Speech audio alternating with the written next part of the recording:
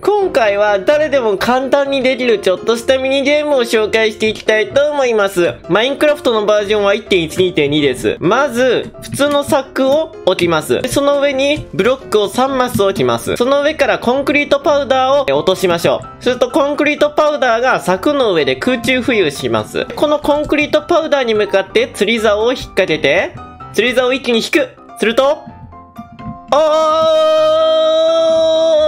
ンクリートパウダーが遠くへと飛びました。これを利用してゴルフみたいなことができます。例えば赤い用もこのようにたくさん並べて、柵を置いて、ブロックを並べて、上からコンクリートパウダーを落として、釣り竿で引っ掛けて、投げると、どれだけコンクリートパウダーを飛ばすことができるかっていうミニゲームができるわけです。友達がいればだけど。